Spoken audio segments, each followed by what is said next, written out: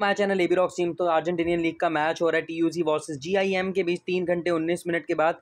तो बात करें आइज़ ये मैच है डेंजरस बहुत बढ़िया। मतलब डेंजरस मतलब वो नहीं रिस्की नहीं है भाई। डेंजरस को गलत मीनिंग में मत ले जाना। मेरा कहने का मतलब अच्छा है खेलने के लिए। तो बात करें, ये मेरा टेलीग्राम चैनल लिंक है नीचे डिस्क्रिप्शन में। जाओ फटाफट नीचे डिस्क्रिप्शन बॉक्स में लिंक पर करो क्लिक एंड ज्वाइन हो जाओ। और गाइज़ हम इस वीडियो के अंदर किसी भी तरह की चीज़ को प्रोत्साहित नहीं कर रहे वीडियो बहुत ही ज़्यादा सेफ़ और नॉलेजेबल है। बढ़ते हैं आगे, बात करें अगर हम इस मैच की तो देखो यार मैच अच्छा है, लेकिन फेवर जीआईएम को करोगे तो अच्छा है। अगर ये नहीं कि उल्टी सीधी टीम को कर दो एक्चुअली क्या है ना कि देखो, मैं ये नहीं कह रहा कि टीयूसी टीम गोल नहीं कर सकती। गोल कोई भी किसी को कर सकता है। किसी को भी हल्का नहीं आंकना चाहिए, ठीक है? तो लेकिन फेवर फिर भी मैं जी आई एम को करूँगा। बात करते हैं गोलकीपर की तो मैं फ़र्स्ट प्लेयर जो कि आपके सामने मैरचियोरी तो इसको लेना बनता है क्योंकि मैं इसकी जगह और कोई प्लेयर चाह भी नहीं ले सकता। First of all credit issue दूसरा ऑप्शन क्रेडिट इशू ना भी होता तो भी मैं इसके साथ जाता। इसलिए मेरे लिए कोई ये नई बात नहीं है। मैं टी के गोलकीपर के साथ जा रहा हूँ तो मैं अपने मन से ही जा रहा हूँ। मतलब मैं, मजबूरी नहीं है ये मेरी।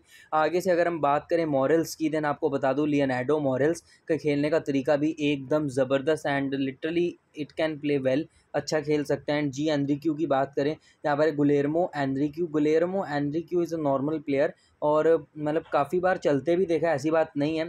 लेकिन ये बेचारा, मैंने एक चीज़ नोटिस किया ना, कि ये मात कहाँ से खाते हैं एनरिक्यू कि कई बार क्या करते हैं, जैसे खेल रहे हैं और अभी से पिछले मैच में इन्होंने खिलाया तो इसको ना चांस मतलब ये ये चांस क्रिएट नहीं करता, ये मात यहाँ से खा रहा है, क्योंकि इसके पास ऑप्शन है, जो बंदा टैकल कर रहा है इंस्क्रिप्शन कर रहा है पासिस कंप्लीट अच्छी तरह कर रहा है, नब्बे मिनट पूरा खेल रहा है, लेकिन अगर वो थोड़ा सा और इम्प्रूव करने की कोशिश करे ना तो वो बहुत बढ़िया प्लेयर निकल के सामने क्योंकि पहले के रिकॉर्ड्स और अब के रिकॉर्ड्स में फ़र्क है, पहले ये और अच्छा था, अभी भी अच्छा है, लेकिन पहले जितना नहीं एंड म्यूल्सो की बात करें, अभी तक तो फोर्थ डिफेंडिंग कर रहा था तो फोर्थ डिफेंडिंग ही करेगा, हो सकता है कि पेरिस करे थर्ड डिफेंडिंग इसलिए मैं फोर्थ डिफेंडर के साथ जाऊँगा। सो मेरा ये प्लेयर कन्फर्म है।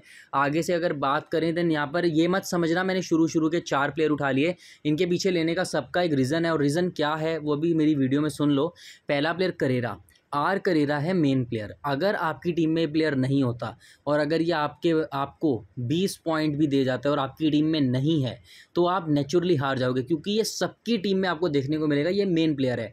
उसी के साथ साथ इस जैसा एक और प्लेयर जिसका नाम है जे परेरा, जॉकिन परेरा ने पिछले मैच के अंदर 19 परसेंट सेलेक्टेड में बयालीस पॉइंट दिए थे, लेकिन आज ये पिछले मैच में साढ़े आठ क्रेडिट का था, आज नौ क्रेडिट का प्लेयर है। ये से कहते हैं प्रोग्रेस लेकिन प्रोग्रेस क्या करी? लोगों ने देखा कि पिछले में वो बयालीस पॉइंट दे गया उसको नब्बे परसेंट सेलेक्ट कर दिया। ऐसे थोड़ा ना होता है। पिछले में जिस बंदे को आप ले नहीं रहे थे, आज वो आपकी टीम में नाइन्टी परसेंट सेलेक्टेड है। तो इसका इसका मतलब है आप ऊपर ऊपर देख के प्लेयर उठाते हो। मतलब जिन्होंने भी लिया है, मैं किसी को पर्सनली नहीं कह रहा, जिन्होंने भी लिया है, मुझे नहीं पता। एंड बी एल की बात करें एल को बहुत ज़रूरी है लेना। पिछले मैच में भी कहा था वो तो चलो गोल नहीं किया, बच गए लिटरली लेकिन मैं आपको आज बता दूँ, ये पेनल्टी टेकर है और ये बंदा कैप्टन बनने लायक है। इसको हल्का मत आंको। एंड आर सोसा की बात करें आर सोसा तो हर बार की तरह, इस बार भी मुझे डाउट है कि गोल करेगा, क्योंकि इनके चार प्लेयर्स पे मुझे हर मैच में डाउट रहता है, लेकिन चलते कोई दो ही हैं।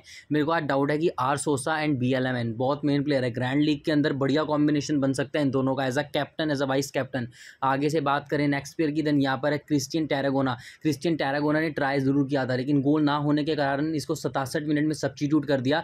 अगर ये गोल कर देता तो थोड़ा बहुत और खेल सकता था। और वहीं ई. रैमिरेज ने, जैसे कि पिछले मैच के अंदर लो सिलेक्शन पे एक असिस्ट की थी और उसी मतलब उसी, उस असिस्ट का मैं काफ़ी दीवाना हो गया था। बहुत बढ़िया असिस्ट थी।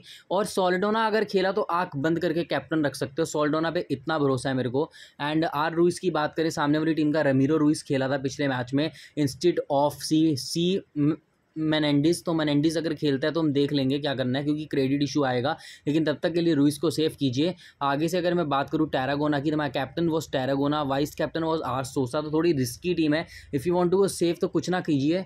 आप मतलब एक रेमिरस को वाइस कैप्टन कैप्टन रख सकते हो सॉरी तो मतलब अलग अलग कॉम्बिनेशन है। ये चारों जीएल में बहुत काम आने वाले मैं आपको ना ये बात कह दूँ।